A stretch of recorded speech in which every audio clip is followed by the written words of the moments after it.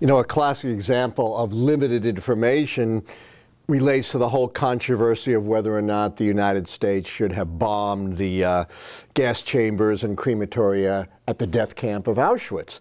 Now, this is not a decision that ever reached FDR, but, you know, the military really, even their experts, didn't know the effects of this. Would this simply kill Jews?